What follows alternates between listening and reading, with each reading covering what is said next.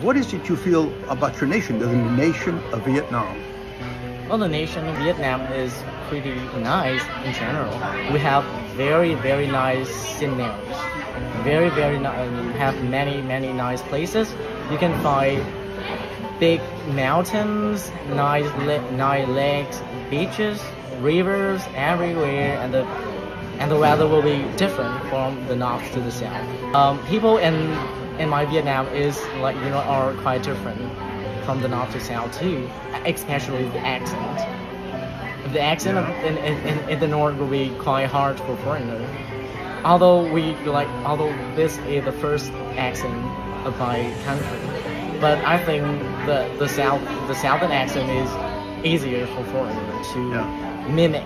I think and people in the south are more westernized. They are more open. They are crazier. They are, but they are more easygoing. Yeah.